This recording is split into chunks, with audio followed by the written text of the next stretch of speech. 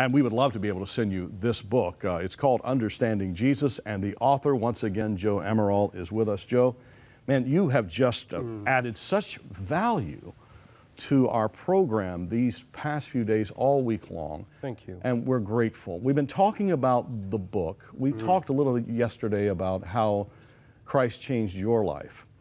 But we are at an interesting day on the calendar. Today, I believe, if I'm yep. correct, yep. is the sixth anniversary yeah. of your father's homegoing to heaven. Yeah. And uh, our condolences, obviously, to you and our sympathy and love to you. We know that's hard when you're, it's tough. Oh, yeah. But at the same time, uh, mm-hmm. you will see him yeah. again because of Jesus Christ and the promises of the Bible that you so love. Yeah, you know, in, in the second half hour, you know, I want to talk about that, that hope that we have because without that hope, it's just a really sad day. It's just a really bad day. Yeah. And, you know, I think it's the Apostle Paul who said, you know, if Christ didn't raise from the dead or rise from the dead, then our hope is in vain. That's right. if right. we just eat, sleep, and then die, and it's all centered in the resurrection. Yeah, there's there's nothing to it, but thank God, there is a resurrection. But in the in the natural, in the physical here in the world today, it, it's a sad day because you know, although I have the hope in my heart that I know I'm going to see my dad one day and he won't be suffering anymore, he won't be in pain. Um, but in the meantime, it's hard to go on without your dad. Uh, a father figure is very, very important in a, right. in a young man's life. Right. And, you know, my, my dad died at a really critical time in my life. Just before Understanding Jesus was published, uh, you know, he, he came here, uh, shared about how he, you know, they, they, left Portugal to come to Canada to give me a better life. And just before the book was published, he passed. And, Aww. you know, uh, it, was, it was a bittersweet, you know, day. We came out of the, the publisher's office, you know, and you're on uh, I forget the name of the street now in New York City, and there's all these big buildings around. And I just signed this amazing contract, and I came out and I was crying, and my wife said, "You know, why are you crying?" Yeah. I said, "He missed it by, uh, by, by that much." Yeah. So I hope one day that he and I can have a conversation, and I can thank him for all the sacrifices. Joe, I have a father who is 90, and we wow. just put him in uh, assisted living facility recently, and it's been very tough on our family. And we have families across our viewing audience sure. that are either trying to figure out how to give their parents dignity in their extreme senior years and comfort and medical help that they need, and some need 24 hour care. We have some who have um, lost their parents. Mm-hmm. We have others whose parents are estranged, uh, mom yeah. and dad are yeah. fighting. Uh, What's your thoughts today about the importance of, of, of, of a father and a mother in, in one's life? And, yeah. and if you don't have mm-hmm. that, mm-hmm. how much more important it is to, to have a close relationship with God the Father? Yeah, I mean, the first thing I would say is do everything and anything you can to make it right. Because you think you have all the time in the world, you know, you think you know when it's going to happen, and so you can just in the nick of time sneak in and fix the relationship. I'm telling you, if you're estranged from your mom or your dad or anybody, I mean, get get it right now. Don't don't wait because pick up the phone know. now. You never know when it's going to happen. Yeah. I mean, I remember when we first got the phone call that my dad had passed out, and he was having some issues before that with his balance. And the ambulance guy said, you know, it might be an inner ear issue, and it's no problem. And then they did this this uh, CAT scan and came out and said Mr. Amaral, you have a stage four, you know, brain tumor. Mm.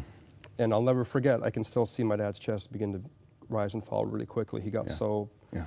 I said, Dad, you know what he said? He said, didn't speak English. He goes, I know what cancer means. Uh-huh. You know, and it was, it was such a, a, tough time because, you know, I've said this before, here I am, you know, working with Israel, blessing the Jewish people, and there's, there's a promise. That I would bless those who bless Israel. And I said, God, I don't understand. I'm doing, I go to church, I tithe, I preach your gospel all over the world. How could this happen to my dad? Mm-hmm. And it was actually my father who helped put me at peace. What did he with say? the whole thing. He said, you know, he says, Joe, who do you think I am that I shouldn't die? Greater men than I have died. Why shouldn't, why not I? I said, how can you say that? You know, and he said, Joe, it's going to happen to everybody. And he had this amazing attitude.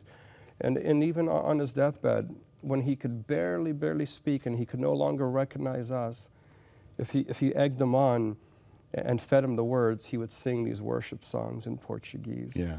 you know, to God. And, and that was such a witness to, to me, to my, my unsafe family members who came and they said, how can he be worshiping God? I said, he's getting ready. He's practicing for eternity. How has, uh, how has this Jesus that you try so hard to understand as you read the Bible and as you interpret, interpret uh, the Bible through culture, how has this same Jesus given you comfort in these six years? The comfort he's given me is his resurrection. You know, you can look to so many other different religions that have great philosophies and have good, you know, and, and equally high morals, mm-hmm. but their leaders are still dead. They're still in the grave. But you know, we can take our viewers to uh, to Jerusalem. I'll take them to a tomb that's empty. Right. You know, because he's he's a God that keeps his words. He keeps his promises, and he said, "Because I live, you'll live."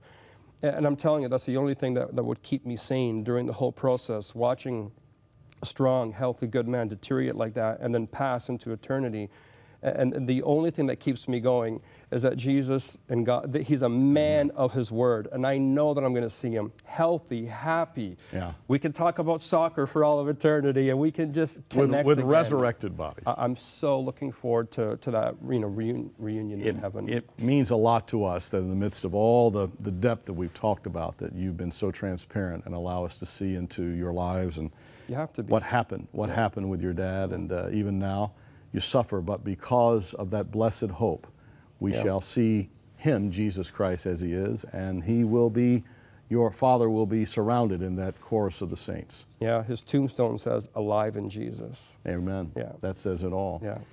So, so let me ask you, uh, how are you doing on the journey? If death faced you, that diagnosis of cancer, that incurable disease from a human standpoint, comes to your body, are you ready to meet eternity? Do you have a relationship with Jesus Christ? Do you know this one that uh, John here and Joe there, by the grace of God, know? Have you experienced His forgiveness? Have you experienced His gift of eternal life? Right now, wherever you are, wherever you may be. You may be hearing this on radio, you may be watching us on television, it may be early in the morning, it may be in the middle of the night. And for some reason, you've camped here on this program. Something Joe said, something we've said has brought you here. Well, we believe that's the Lord. And we believe it's so important that you have Him in your life.